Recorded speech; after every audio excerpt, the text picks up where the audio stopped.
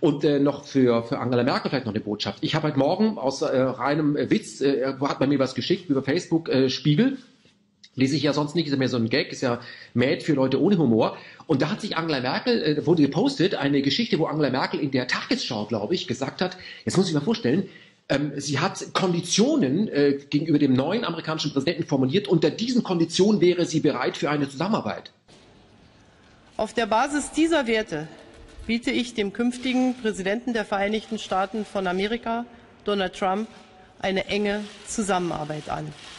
Das muss ich mir vorstellen. Und zwar sind das Konditionen, wie Demokratie auszusehen hat. Also die Frau, die neulich noch im Erika war, die noch gar nicht so lange aus der ehemaligen DDR raus ist, die sich ja da, die ja bestimmt nicht als Oppositionelle ähm, aufgefallen ist, genau wie Gauck nicht und so. Ähm, die stellt sich hin und äh, macht dem und sagt dann, sie würde unter diesen Konditionen, die sie dann nennt, würde sie dem amerikanischen Präsident eine Zusammenarbeit äh, anbieten. Angela, ich sage jetzt mal Angela, ähm, Du bist ein Vasall. Du kannst dem amerikanischen Präsidenten keine Bedingungen stellen, unter denen du Zusammenarbeit anbietest. Wenn der so macht, bist du auch wieder raus aus dem Amt. Ich meine, dass du im Amt bist, das hast du ja zu verdanken, dass in Washington jemand gesagt hat, die können wir nehmen. Und wenn, wenn der so macht, bist du wieder weg. Auf dich kommt es überhaupt nicht an. Verstehst du? Du bist ein Vasall, der gar nichts zu sagen hat. Und das ausgerechnet du, ja, ich meine, mit deiner Vergangenheit, der ältesten Demokratie, ähm, Konditionen, unter denen du bereit bist der Zusammenarbeit, das ist völliger Schwachsinn, das ist völliger Hybris. Das ist wie wenn Erich Honecker äh, zu Gorbatschow gesagt hat, unter den Konditionen macht er ihm ein Angebot. Verstehst du? du? Deutschland ist das kleinere Land. Wir, verstehst du? Wir haben nicht die Amerikaner gegründet, sondern gibt es schon vor uns. Und, und, und ohne den Zusammenbruch der DDR, ja, und deine Aufnahme im Westen, würdest du gar nicht auf dem Posten sitzen. Das musst du doch wissen. Hast du das wirklich vergessen? Frag doch mal deine Berater. Ja, da ist irgendwas komplett schiefgelaufen. Und für alle, die es nicht verstanden haben, es geht nicht darum, was Donald Trump im Vorfeld gesagt hat. Darum geht's nicht. In einer Mediendemokratie, wo es nur darum geht, was jemand von sich, was, was, wie, das, wie das Erscheinungsbild ist und ob er laut aufschlägt, geht's nur darum, im Kopf derjenigen zu bleiben.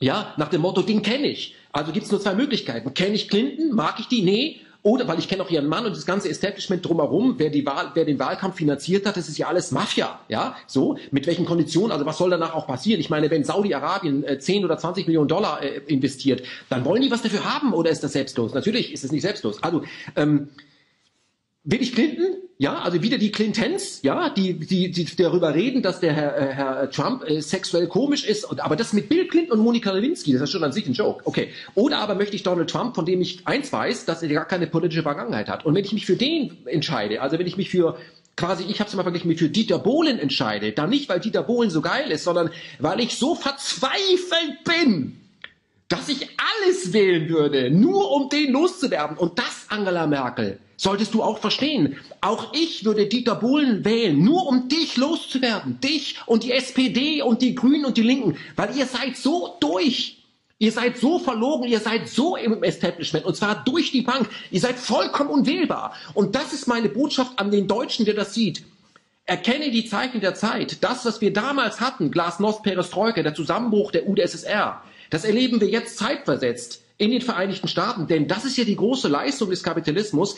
Er bringt sich selbst zum Scheitern, obwohl es die UdSSR gar nicht mehr gibt. Das muss man sich mal vorstellen, ja? Er braucht gar keinen Feind, ja, um äh, zerstört zu werden. Er zerstört sich selbst, weil er so vollkommen beschränkt ist. Und wenn das den Amerikanern gelingen sollte, dieser ähm, dynamischen Demokratie, dann gelingt uns das auch. Das ist der Befreiungsstaat global. Die Amerikaner haben es vorgemacht und Angela, wenn die Amerikaner das vormachen, dann müssen wir das nachmachen. Das ist ja völlig klar, weil alles, was aus Amerika kommt, ist echt super. Und wenn Donald Trump, ein Underdog, uns die auf den Auftrag quasi über Bande erteilt, gegen das Establishment zu wählen, was bedeutet das dann für dich?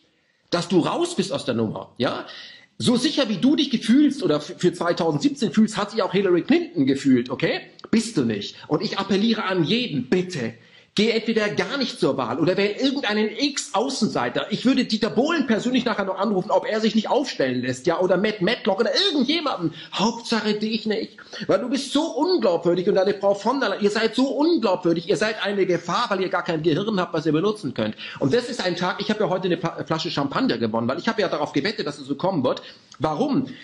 Weil mein Job ist ja nicht nur die Zeichen der Zeit zu erkennen, sondern sie eben auszusprechen. Das tun ja die vielen Kollegen von Anne Will bis Maybrit Illner, wie die andere Manga-Schnecker. Maischberger äh, heißt ja eben nicht. Ich habe euer Schauspiel in, äh, zur Wahlkampf, zum, zur Wahl gesehen. Das war ja auch technisch so schlecht Guckt ihr das eigentlich selber? Das kann man gar nicht schlechter machen. Ich meine, wir haben gerade mit 1 Live, ja, mit Kenneth M Live bewiesen, wie es anders geht. Ich weiß gar nicht, wofür, was, für was ihr eure 8 Milliarden bekommt. Ihr könnt es ja auch technisch nicht. Ihr stammelt dorthin und dann duzt ihr euch auch noch dumm. Seid ihr verrückt geworden? Als Markensoziologie kann ich euch nur sagen, ihr solltet doch wissen, wenigstens den Schein wahren, dass es seriös ist. Auch das könnt ihr nicht mehr. Und das ist einfach so unfassbar schlecht, dass der heutige Tag ein guter Tag ist. Denn was ist die große Angst von euch und euren Finanzierern, dem äh, militärisch-industriellen Komplex? Dass jetzt kein neuer Krieg stattfinden kann, an dem ihr alle satt verdienen könnt. Denn der Mann, Trump, hat in seiner ersten Rede gesagt, er ist bereit, mit jedem zu reden.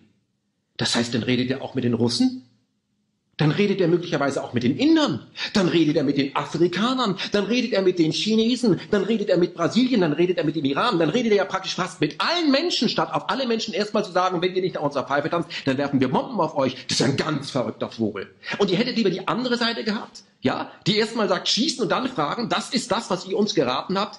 Wir mögen ziemlich blöd sein, aber so blöd sind wir nicht. Wir waren noch nie so blöd. Und dass wir das in dieser Art und Weise äußern können, das ist das Ergebnis, das Resultat von dieser Kiste hier, okay? Von diesem Internet. Das habt ihr geplant, um uns zu überwachen, aber ihr habt euch selbst ein Bein gestellt. Und deswegen ist heute ein guter Tag. Und deswegen mein Tipp an die Regierung, ja? Und äh, diese Presse, diese Regierungspresse. Ich, an eurer Stelle würde ich ganz schnell jetzt meine Koffer packen und mich irgendwo hin verziehen. Sich in Grund und Boden zu schämen, das reicht nicht mehr, ja? Wer heute noch in den Laden geht und die FAZ kauft, ja, oder den Spiegel kauft oder äh, die, die Taz kauft, wer heute noch ARD und ZDF anmacht, um zu gucken, was dort ist, der sucht auch heute im Netz noch nach der alten Ausgabe der aktuellen Kamera, um sich schlau zu machen über die Gegenwart. Freunde, heute ist ein guter Tag. Und wie gesagt, ich hatte es wirklich sehr, sehr eilig, das hier in diese Kamera hineinzuspitten. Das musste raus.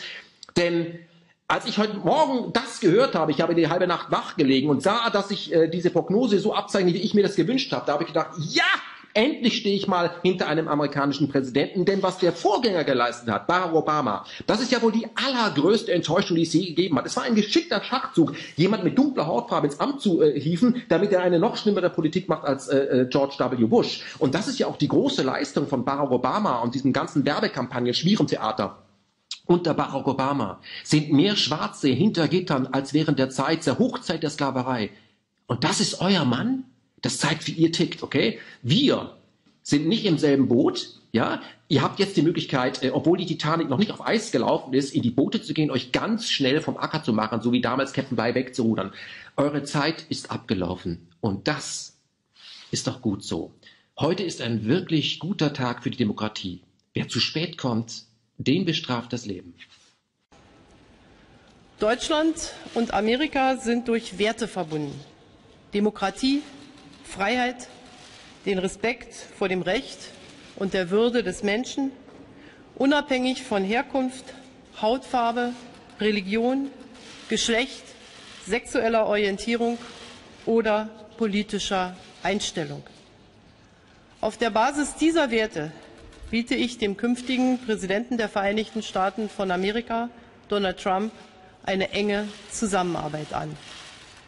Die Partnerschaft mit den USA ist, ist und bleibt ein Grundstein der deutschen Außenpolitik, damit wir die großen Herausforderungen unserer Zeit bewältigen können. Das Streben nach wirtschaftlichem und sozialem Wohlergehen, das Bemühen um eine vorausschauende Klimapolitik, den Kampf gegen Terrorismus, Armut, Hunger und Krankheiten, den Einsatz für Frieden und Freiheit in Deutschland, in Europa und in der Welt. Ich danke Ihnen.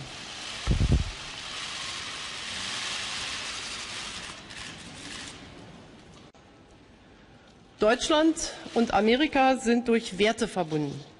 Demokratie, Freiheit, den Respekt vor dem Recht und der Würde des Menschen, unabhängig von Herkunft, Hautfarbe, Religion, Geschlecht, sexueller Orientierung oder politischer Einstellung. Auf der Basis dieser Werte biete ich dem künftigen Präsidenten der Vereinigten Staaten von Amerika, Donald Trump, eine enge Zusammenarbeit an. Die Partnerschaft mit den USA ist, ist und bleibt ein Grundstein der deutschen Außenpolitik, damit wir die großen Herausforderungen unserer Zeit bewältigen können. Das Streben nach wirtschaftlichem und sozialem Wohlergehen, das Bemühen um eine vorausschauende Klimapolitik, den Kampf gegen Terrorismus, Armut, Hunger und Krankheiten, den Einsatz für Frieden und Freiheit in Deutschland, in Europa und in der Welt. Ich danke Ihnen.